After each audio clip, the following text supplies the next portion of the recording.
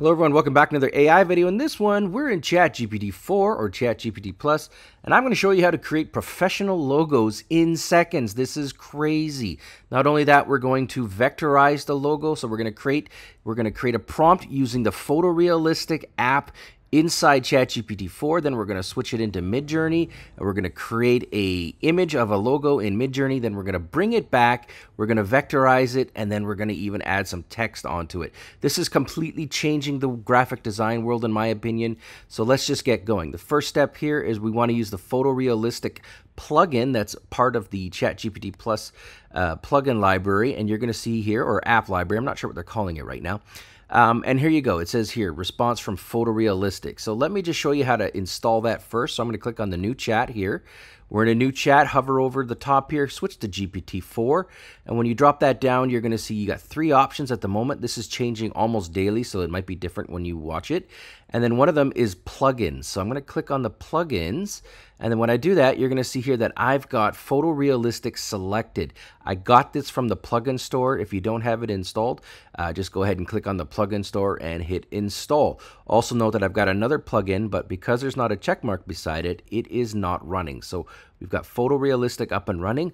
The next step for creating logos is I'm just going to go uh, create a, a prompt for a a logo for a minimalistic uh, coffee shop. Let's go with just something simple like that. Hit enter. When you do that, you're going to see a few things happen here. One, it's doing its thinking, but the first thing you'll see is it says using photorealistic, then it says used photorealistic, and then it gives us the prompt. And while it loads that up, you can click on this little down arrow and you can see exactly what the instructions were and what's coming here. So it's pretty crazy. It's pretty, yeah, it's pretty in-depth. So if you ever get lost, you can always click on that arrow.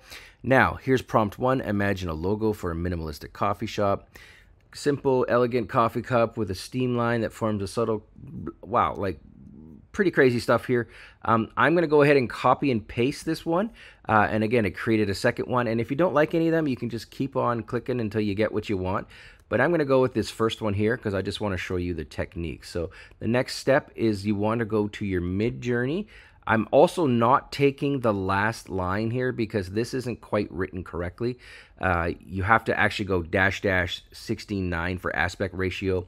You can't use just uh, regular language to describe that in Midjourney. So that's the one knock against photorealistic app at this time. Anyways, here we go into Discord. You'll see I've already run one earlier, but I'm going to go ahead and run the one that we just did. So forward slash imagine and then I'm just going to copy and paste it in here and then I'm going to go ahead and hit enter. I will come back when it's done. It should take only a few seconds. All right, welcome back. So here are the four that we got, and they're all quite good if you ask me. This one's a little bit simple, but uh, let's go ahead with the bottom right one. This one looks a little bit more intricate, and I like it, so let's go with it. So I'm going to go ahead and click on U4, which is going to go ahead and upscale or upsample it, so to speak. And then this should only take a second, and then here we go. Here's the image clicking on it, I'm going to right click on it and I'm going to go save image and I'm going to save it into my pictures folder. So there we go. I'm going to save it and presto, off it goes. Now let's go into my pictures folder, which is right here. I've even got it open. There we go. Look at that. And this is it right here. Now you'll notice it's a PNG, so it's not in scalable vector graphics. So it's not vectorized yet. So let's not panic. I'm going to go ahead and show you a second site. It's called vectorizer.ai. I'm just going to go to it right at the beginning. Oh, come on, Curtis. Uh, didn't do that, right? Vectorizer.ai. And oh for 2. Let's just edit that out of the end here. Vectorizer.ai. Third time's a charm, Curtis. Keep it up. Put your helmet on, buddy. Um, okay, here we go. So vectorizer.ai, and then I'm going to go into the Finder. I'm going to grab that image that we just created and upscaled in um, Midjourney. Grab it, drag it and drop it here. You'll notice here that as I do that, I did not have to log into anything. I didn't have to create an account or anything. This just vectorizes things in seconds. It's crazy good. All right, so now you'll see here original image, vectorized image. Going to click on download and then we get some options. What we want is scalable vector graphic. We want vector. So I'm just going to go ahead and click on download. If you want to go ahead and change the style, go ahead.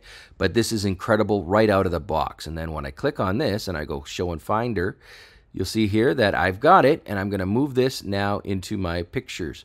So in pictures, now you'll see here that it says .svg, dot scalable vector graphic. That is what we want.